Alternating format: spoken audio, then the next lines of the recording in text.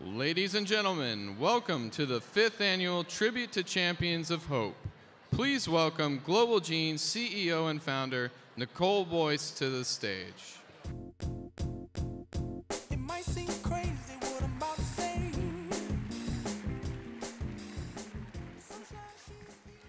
Welcome. Welcome to the fifth annual Tribute to Champions of Hope. I can't believe it's been five years. And many of you have been here for the last five, so thank you.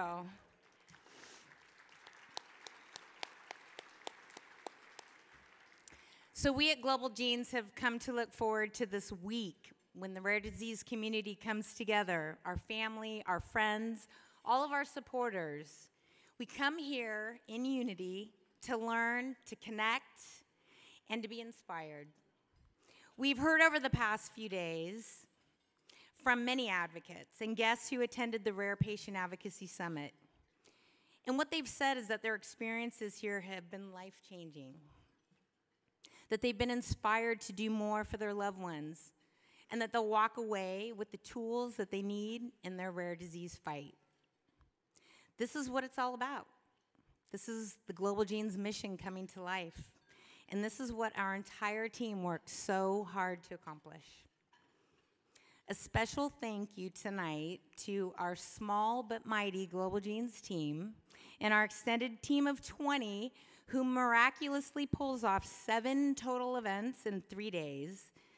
That also includes the two day conference that broke records this year in person and via live stream with attendance. And all of this would not be possible with all of these amazing teammates, our PR firm ACE, our events team, with Fresh Eyes, and all the wonderful people involved. So I just want to take a moment, please, if you can see them.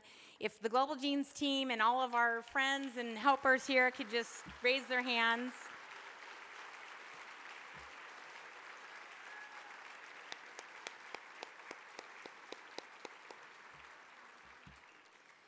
And of course, none of this would be possible tonight without our sponsors and supporters. This year's platinum sponsors include Horizon Pharma, Alexion, Retrophin, and Walgreens.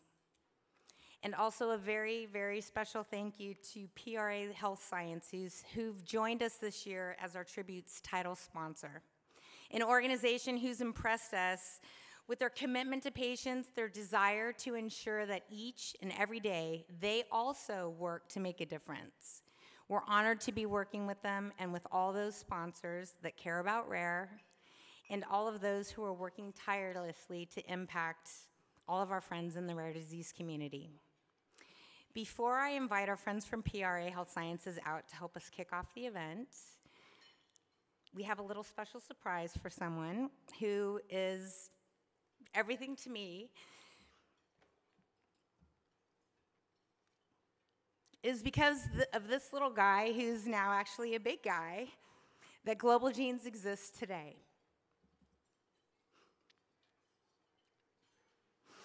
This amazing young man and his parents, Kelly and Daryl, my friends, who many of you know because it's the story of why we're here. They were my catalyst to do something, to try to help, to try to make a difference, not only for them, but for this entire community. Is because of this amazing family that I was introduced to the world of rare, and as a result, we're all here tonight.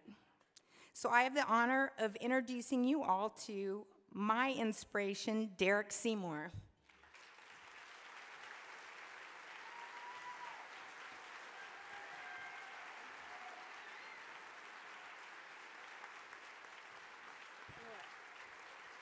So, Derek, not only are you my inspiration, but today is not only a special night for all of us in the rare disease community, but what day is it today for you? My birthday? It's your birthday. How old are you today? 18. 18. so we thought we thought for your 18th birthday that there'd be no better way to celebrate than with 700 people singing happy birthday to you. So if you would all join us in singing happy birthday to Derek, please do so. If you could raise the light so we can see how crazy big this room is.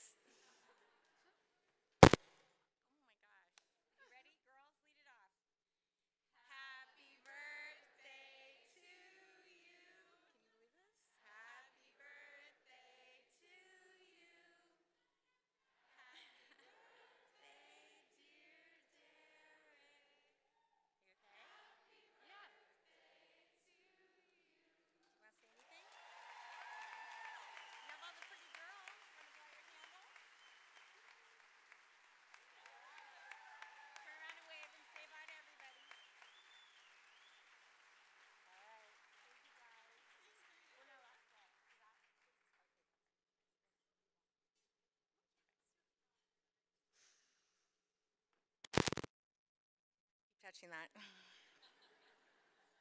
So, ladies and gentlemen, please welcome our new friend from PRA, PRA Health Sciences, Kent Thoelke, for the opening toast.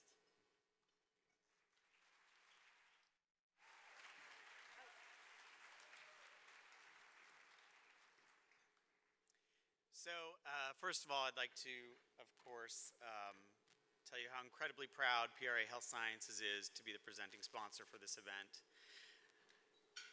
Nicole said, Hey, just uh, give a toast and speak from your heart. The challenge with that is, after three days here, there's not a lot of room left in my heart for words. It has been an incredibly uh, emotional, thoughtful, stressful, crazy few days. What I know is, uh, in the last 25 years, I've been doing drug development. I have attended hundreds and hundreds of conferences. In my entire career, I have never been impacted at a meeting like I have been impacted the last three days. And that is because of the people in this room. It's the patients, it's the caregivers, it's the advocates, it's the biotech and pharma companies, it's the support services, it's certainly the Global Genes team. That's incredible. That made an, uh, an incredible mark on my life.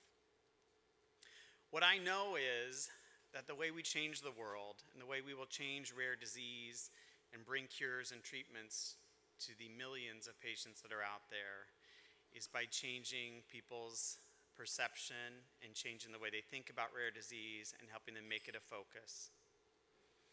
I think over the last couple of days, what we heard was that a lot of people feel like one voice isn't enough, it's not loud enough.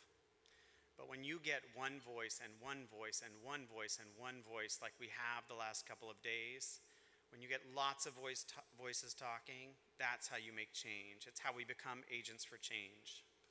And our commitment to uh, our commitment uh, as a drug development organization to global change, uh, global genes, and the patients in the room, and the caregivers and their parents, et cetera, is we have 13,000 employees around the world. And that sphere of influence is huge. It covers financial institutions, it covers researchers, it covers biotech and pharma, it covers patients. And our commitment is to ensure that every day those 13,000 people come to work, they remember that there's a rare patient out there and that we have that responsibility to carry that message out into the world to make change for every single rare patient that's in the world as well. And so, with that, I'd like to toast the entire room for what you have done for the rare patient community and tell you what an incredible honor it is for me and our company to be a part of this organization.